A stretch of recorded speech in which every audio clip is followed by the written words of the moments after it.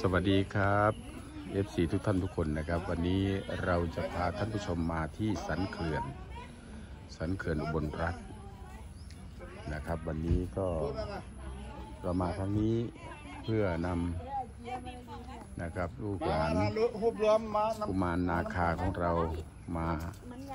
เล่นบ้างนะครับโอกาสดีก็บอกว่าพ่อพ่อพ่ออยากมา อันนี้ก่อนแอดแอดมาไอ้อันนี้หนูไม่เห็นเพื่อนเอาไอ้บอยไอ้หนูไม่เห็นเพื่อนตรงนี้ที่มีที่มีประวัติแล้วก็มีปัญหาเกี่ยวกับนักศึกษาเรือล่มที่มาเที่ยวในครั้งนั้น ไปท้ายเราบ่เอาไปท้ายเอาตอนนั้นมีนักศึกษาเรือล่มใช่ไหมที่ที่ตอนนั้นมาทัศนศึกษาเนาะก็อยู่ตรงนี้แหละครับเนี่ยที่เราจะพาไปดูเนี่ยอืม ก็ตอนนั้นก็เป็นตอนนี้ที่สันเขื่อน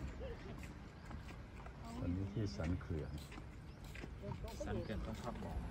ฮะบอกที่สันอะไรนะ มันจะมีปลาเนี่ยดูดูดูปลาตัวตัวลายๆเห็นไหมนะตัวนี้ปลาตัวลายๆเขาเรียกว่าปลาอะไรนะอยู่หัวเรือนะก็เจอเห็ดแมง เออพอดีเขาเจ้าเพาะไว้เลี้ยงไว้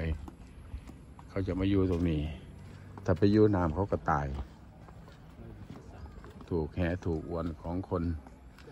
นะครับนี่แหละครับ เพราะว่ามื่อนี้ลูกหลานนาคา กุมารนาคา เขาต้องการอยากจะให้พามาเที่ยวที่สายน้ำนะครับ หลังจากเขา ทำงานให้เราสำเร็จทุกสิ่งทุกอย่างคนที่มาบนไปต่างประเทศคนที่อยู่ต่างประเทศมาบนให้ช่วยเหลือ ปู่สนชัยก็ใช้กุมารนี่แหละนะครับ ไปดูแลบ้างตรงไหนดวงชะตาของคนที่พอช่วยได้ เราก็ให้กุมารไปสื่อสาร ไม่ใช่ว่าช่วยได้หมดทุกคนนะ ไม่ใช่ว่าปู่สนชัยช่วยได้หมดทุกคน เพราะว่าดูดวงชะตาตก ตกปีนั้นดวงเขาไม่ดีปู่สนชัยก็บอกให้เขาไปแก้ก่อน เอาอะไรไปแก้ก็คือบุญบุญกุศล เอาบุญกุศลไปแก้เอาบุญกุศลไปเป็นใบเบิกทาง ให้กับคนที่ติดขัดดวงชะตาขัด ไปเป็นใบเบิกทาง เมื่อสร้างบุญเสร็จอะไรอีก เราก็ดูอีกว่าเป็นยังไงไปได้ไหมอย่างคนเนี่ยตกปีราหูทับ ก็ไปส่งของดำแก้ราหูประมาณเนี่ยพอเสร็จสับเรียบร้อยปั๊บนะครับ ก็ขอให้กุมารไปสื่อสารตรงที่เขาอยู่ภูมิที่เขาอยู่ ให้หลุดพ้นให้รอดผ่านจากสิ่งที่มันจะผิด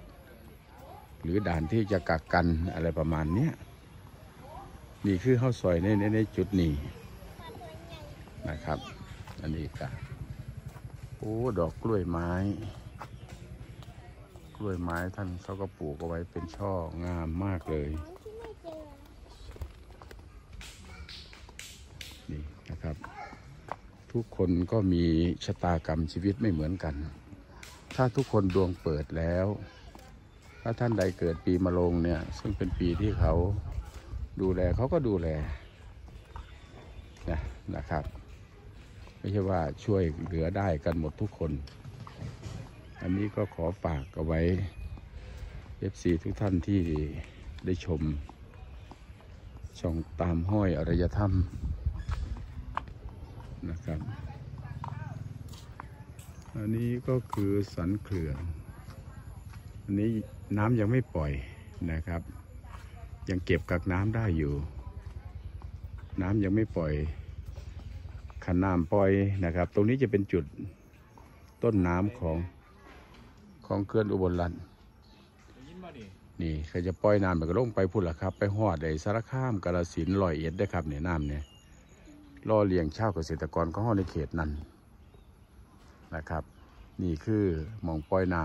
ำหล่อหมุนเหลืองๆนั่นแหละ ก็ไปสันเขื่อนกับลงไปพุ่นแล้ว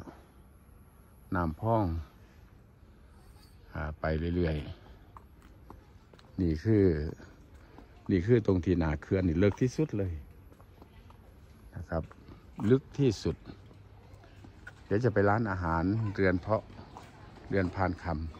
ำจะไปกินกาแฟจะไปกินอาหารทีมาเด้อที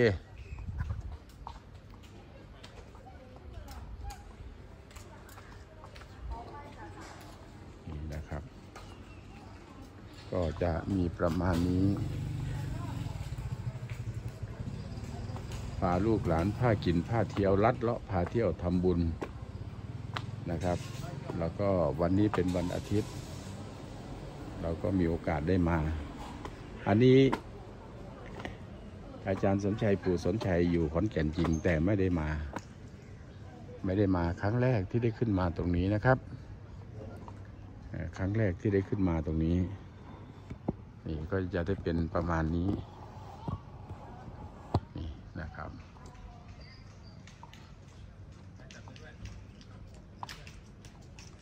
นี่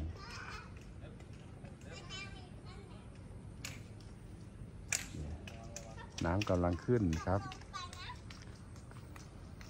เขื่อนอุบลรัฐโอ้ยเบิ่งดูพี่น้องเลือกไปหาป่าหาอยู่หากินเกิดล่มไม้ยันใดเกิด ระลอกน้ำไม้ยันใดเสียง คนบ่กล้าบ่ไปเด้พี่น้องบ่กล้าบ่ไปเลยล่ะ ตรงนั้นพายเรือหาอยู่หากินเนี่ยเป็นว่าหากินไก่เด็ดปลาใหญ่กะคงจะเป็นความเสืออ่าพวกเปิ้นบอลผมเห็นบอลอาจจะตัวใหญ่จริงนะครับเออนี่แหละ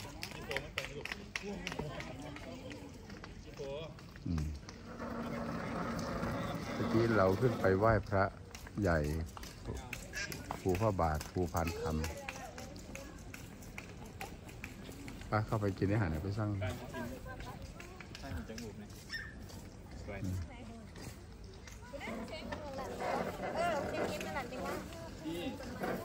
เฮ็ดมิ้นกับเจ็บกระดูกพี่น้องเอ้ยเป็นโหลเลยอันเนี้ยไอ้เพชรซอมจอด้วยนะครับไอ้เพชรซอมจอ อนนี้ยังมาท่านดังเข้ามาน้ำเฮาอยู่เห็นเขาดังเลยเขาสิแยง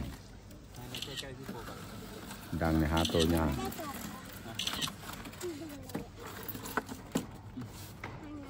มายืนตรงนี้เอาภูตรงนั้นต้องไงเฮาหามุมไห้เด่นนะแต่ละมุม วันเดือนปี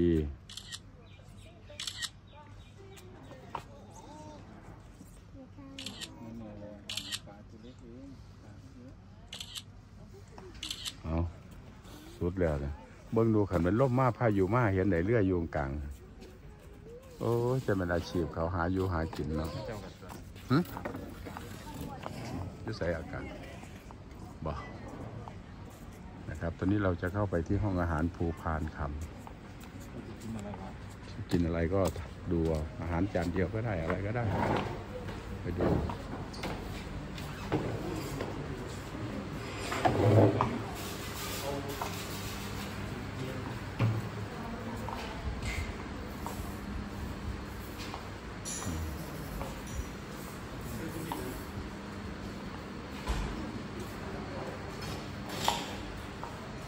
นี่ก็ได้อันนี้ก็ได้ ตรงนี้ก็ได้เย็น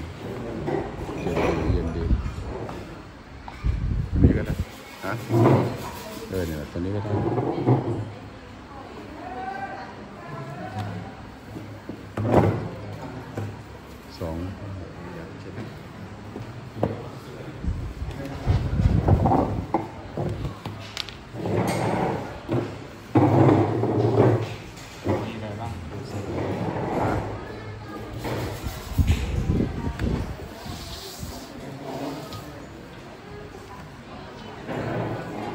นูเอา